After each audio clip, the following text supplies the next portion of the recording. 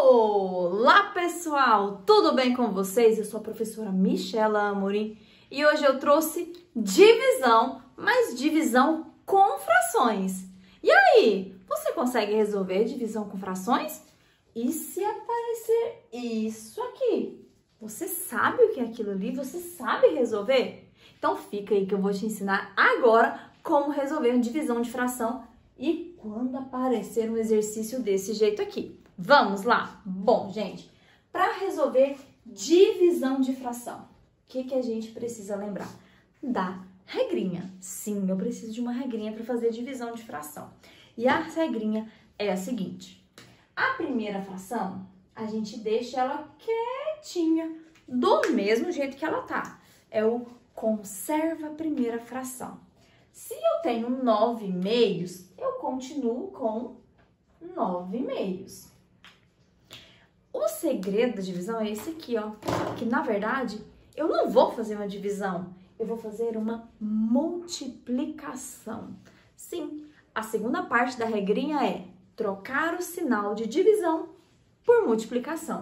Então, aqui, que é uma divisão, vai virar uma multiplicação. Vou colocar um pontinho da multiplicação. E agora vem a parte mais importante o que fazer com a segunda fração, Michela? É só conservar também? E não, gente, se eu conservo a primeira e conservo a segunda, eu tô fazendo o quê? Eu só tô, troquei a operação de divisão para multiplicação. E é claro que vai dar errado. Para poder fazer a divisão, eu preciso inverter a segunda fração. E o que, que é inverter a fração, Michela? É trocar, gente, o numerador e o denominador de lugar tá? A gente não troca sinal, a gente não faz nada com sinais. A gente apenas troca os dois números de lugar. O que tá em cima fica embaixo, o que tá embaixo fica em cima. Então, o 10 não tá aqui embaixo? Ele vai lá pra cima. O 3 que tá em cima, vem aqui pra baixo. Então, o 10 em cima e o 3 aqui embaixo. Pronto, inverti a segunda. Então, vamos recapitular aqui direitinho as regrinhas da divisão, conserva a primeira fração, troca o sinal de dividir por vezes e inverte a segunda. Agora é só fazer multiplicação de frações. E como que a gente faz multiplicação de fração? Eu escutei alguém dizer multiplicar cruzado? Não, não, não, não, não façam isso, gente. Multiplicar fração é só multiplicar os dois que estão em cima e os dois que estão embaixo, tá? É assim que a gente faz multiplicação de fração. Bom, só que antes eu posso usar a técnica do cancelamento, que é o quê? É simplificar a minha resposta antes de multiplicar, tá? Muitas vezes a gente multiplica e simplifica no final. O cancelamento não, a gente pode cancelar, a gente pode simplificar e só depois a gente multiplica. Ele facilita e muito a nossa vida. Se você não conhece ou se você esqueceu, vou te explicar agora. O cancelamento, sim, a gente olha os números assim, ó, em X. Porque eu tenho que olhar um número que está no numerador e um número que está no denominador, tá? Então, vamos lá. O 9 e o 3. Será que eu consigo dividir o 9 e o 3 por um mesmo número?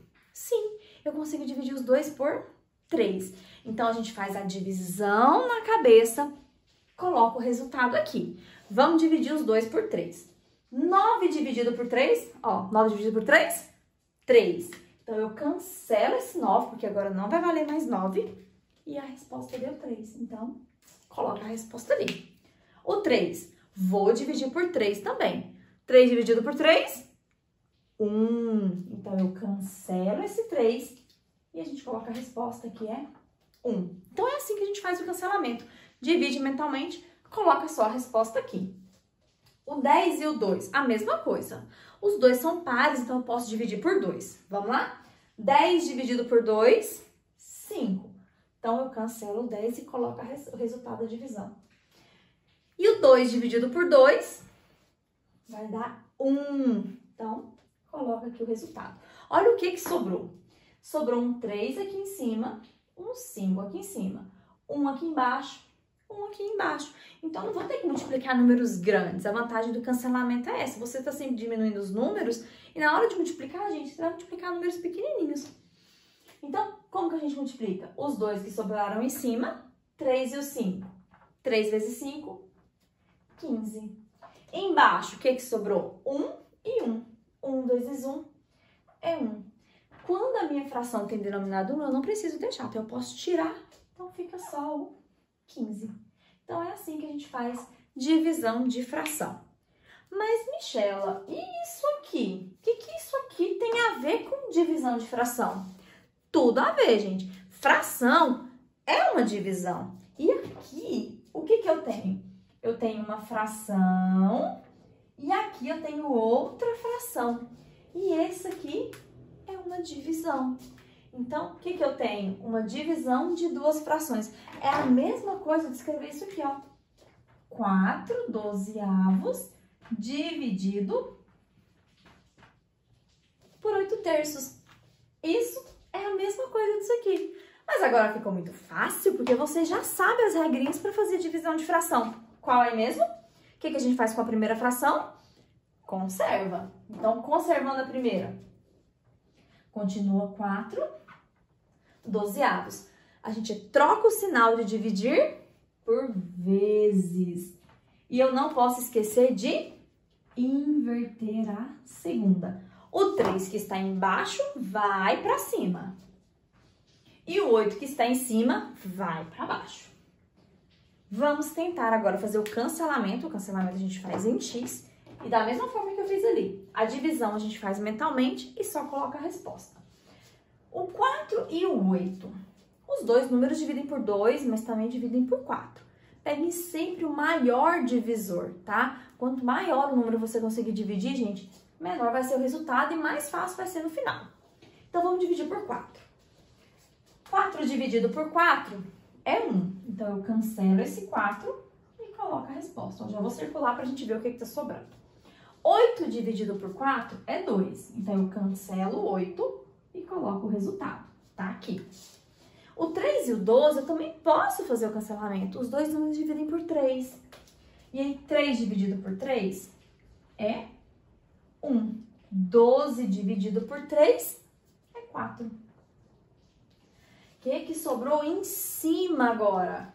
1 e 1. Então, agora vamos multiplicar os dois. 1 vezes 1, 1. Embaixo sobrou um 4 e o 2. 4 vezes 2, 8. Ah, Michela, você acabou de falar que quando tem um eu posso tirar. Mas eu tiro quando ele está embaixo. Por quê? O denominador é 1. Fração é divisão. 15 dividido por 1 é 15. Então, esse 1 embaixo não vai alterar o resultado. Mas o contrário já não é certo. Eu tenho 1 dividido por 8, não 8 dividido por 1. Quando você tem 1 e divide por 8, vai dar pedacinhos, gente. Diferente de você ter 15 e dividir para 1. Então, se o 1 estiver em cima, deixa ele quietinho, não faz nada com ele, tá? Então, o resultado da minha divisão, quando aparecer isso aqui agora, vocês já sabem que é uma divisão de fração. E a gente faz como a gente faz com qualquer outra.